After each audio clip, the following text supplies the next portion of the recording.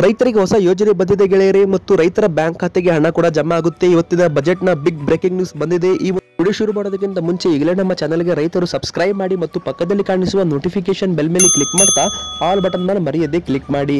ಇದರಿಂದ ನಿಮಗೆ ಎಲ್ಲ ಹೊಸ ವಿಡಿಯೋಗಳು, ಯೋಜನೆಗಳು, ಮಾಹಿತಿ ಸಿಗ್ತಾ ಇರುತ್ತೆ. ಮತ್ತು ನಿಮಗೂ ಕೂಡ ಈ ಒಂದು ವಿಡಿಯೋ ಇಷ್ಟವಾದಲ್ಲಿ ಈ ವಿಡಿಯೋಗೆ ಒಂದು ಲೈಕ್ ಆದರೂ ಮಾಡಿ ಗೆಳೆಯರೆ. ನಿಮಗೋಸ್ಕರನೇ ಈ ಒಂದು ವಿಡಿಯೋನ ಮಾಡ್ತಾ ಇದ್ದೇವೆ. ಹೌದು ಗೆಳೆಯರೆ, ನಿರ್ಮಲಾ ಸೀತಾರಾಮನ್ ಅವರು ಬಜೆಟ್ ಅನ್ನು ಮಂಡನೆ ಮಾಡಿದ್ದಾರೆ. ಈ ಒಂದು ಬಜೆಟ್ನಲ್ಲಿ ರೈತರಿಗೆ ಭಾರಿ ಭರ್ಜರಿ ಕೊಡುಗೆಯನ್ನ ಕೊಟ್ಟಿದ್ದಾರೆ ಗೆಳೆಯರೆ.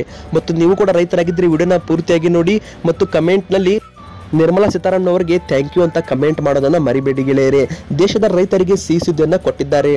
ಅನ್ನದಾತ ಇನ್ಮುಂದೆ ವಿದ್ಯುತ್ ದಾತ ಅಂತ ಹೇಳಿದ್ದಾರೆ ಗೆಳೆಯರೆ. ಇಪ್ಪತ್ತು ಲಕ್ಷ ರೈತರಿಗೆ ಪಂಪ್ ಸೆಟ್ ವಿತರಣೆ ಮತ್ತು ಬರಡು ಭೂಮಿಯಲ್ಲಿ ವಿದ್ಯುತ್ ಉತ್ಪಾದನೆಗೆ ಅವಕಾಶವನ್ನ ಸರ್ಕಾರದಿಂದ ಮಾಡಿಕೊಟ್ಟಿದೆ. ಹೌದು, ನಿಮ್ಮ ಹತ್ರ ಏನಾದರೂ ಬರಡು ಭೂಮಿ ಆ ಒಂದು ಬರಡು ಭೂಮಿಯಲ್ಲಿ ನೀವೇನಾದರೂ ಸೋಲಾರ್ ಅನ್ನ ಯೂಸ್ ಮಾಡಿದ್ರೆ ನಿಮಗೆ ವಿದ್ಯುತ್ ತಯಾರಿಸಲು ಒಂದು ಅವಕಾಶ ಇರುತ್ತೆ. ನೀವು ಅಲ್ಲಿ ವಿದ್ಯುತ್ ಅನ್ನ ತಯಾರಣೆ ಮಾಡಿ ಸರ್ಕಾರಕ್ಕೆ ಮಾರಿದರೆ ನಿಮಗೆ ಹಣ ಬರುತ್ತೆ ಗೆಳೆಯರೆ. ರೈತರ ಆದಾಯವನ್ನು ಎರಡು ಸಾವಿರದ ಇಪ್ಪತ್ತರ ವೇಳೆಗೆ ರೈತರ ಆದಾಯ ದ್ವಿಗುಣಗೊಳಿಸುವುದಕ್ಕೆ ಕೇಂದ್ರ ಸರ್ಕಾರ ಬದ್ಧವಾಗಿದೆ ಅಂತ ಅದು ಕೂಡ ಹೇಳಿದ್ದಾರೆ. ಅದು ಅಷ್ಟೇ ಅಲ್ಲದೆ ಕೃಷಿ ಅಭಿವೃದ್ಧಿಗಾಗಿ ಒಟ್ಟು ಹದಿನಾರು ಅಂಶಗಳ ಯೋಜನೆ ಮಾಡಲಾಗಿದೆ ಅಂತ ಹೇಳಿದರು. ಇಪ್ಪತ್ತು ಲಕ್ಷ ರೈತರಿಗೆ ಪಂಪ್ಸೆಟ್ ವಿತರಣೆ ಮಾಡಲಾಗುವುದು ಅಂತ ಕೂಡ ಹೇಳಿದ್ದಾರೆ. ಬರಡು ಭೂಮಿಯಲ್ಲಿ ವಿದ್ಯುತ್ ಉತ್ಪಾದನೆ ಮಾಡುವುದಕ್ಕೆ ಹೆಚ್ಚಿನ ಅವಕಾಶವನ್ನು ನೀಡಲಾಗುತ್ತೆ. ಈ ಮೂಲಕ ಅನ್ನದಾತ ವಿದ್ಯುತ್ ದಾತನಿಗೂ ಕೂಡ ಆಗ್ತಾನೆ. ಅಂದರೆ ಅನ್ನದಾತ ಇದೀಗ ವಿದ್ಯುತ್ ದಾತ ಕೂಡ ಆಗ್ತಾನೆ ಎಂದು ಹೇಳಿದ್ದಾರೆ. ನೀವು ಸರ್ಕಾರಕ್ಕೆ ಈ ಒಂದು ಸೋಲಾರ್ ಪಂಪ್ಸೆಟ್ನ ಮತ್ತು ಸೋಲಾರ್ ಪ್ಯಾನಲ್ಸ್ಗಳನ್ನು ಹಾಕೋದ್ರಿಂದ ನಿಮ್ಮ ಒಂದು ಭೂಮಿಯಿಂದ ಕರೆಂಟ್ ತಯಾರಾಗುತ್ತೆ ಗೆಳೆಯರೇ. ಹೌದು ಕರೆಂಟ್ ಆ ಒಂದು ಕರೆಂಟನ್ನು ನೇರವಾಗಿ ವಿದ್ಯುತ್ ಕಂಪನಿಯವರು ನಿಮ್ಮ ಕಡೆಯಿಂದ ಯೂನಿಟ್ ಆಗಿ ಖರೀದಿಯನ್ನ ಮಾಡ್ತಾರೆ.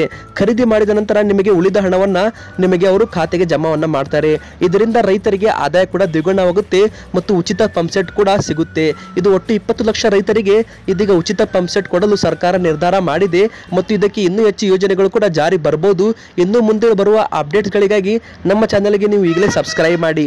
ಸಬ್ಸ್ಕ್ರೈಬ್ ಮಾಡಿದರೆ ನಿಮಗೆ ಎಲ್ಲವೂ ಮಾಹಿತಿ ಸಿಗ್ತಾ ಇರುತ್ತೆ. ಹೀಗಾಗಿ ಸಬ್ಸ್ಕ್ರೈಬ್ ಮಾಡ್ತಾ ನೋಟಿಫಿಕೇಶನ್ ಬೆಲ್ ಮೇಲೆ ಕ್ಲಿಕ್ ಮಾಡಿ, ನಂತರ ಆಲ್ ಬಟನ್ ಅನ್ನ ಕ್ಲಿಕ್ ಮಾಡಿ. ಇದು ಕೂಡ ಸಂಪೂರ್ಣವಾಗಿ ಉಚಿತವಾಗಿದೆ. ಮತ್ತು ಈ ಒಂದು ವಿಡಿಯೋನ ಮರೆಯದೆ ಲೈಕ್ ಮಾಡಿ, ಮತ್ತು ನಿಮ್ಮ ಅನಿಸಿಕೆಯನ್ನು ಕಮೆಂಟ್ ಮಾಡ್ತಾ ನಮ್ಮ ಒಂದು ವಿಡಿಯೋಗೆ ಲೈಕ್ ಮಾಡೋದನ್ನ ಮರಿಬೇಡಿ.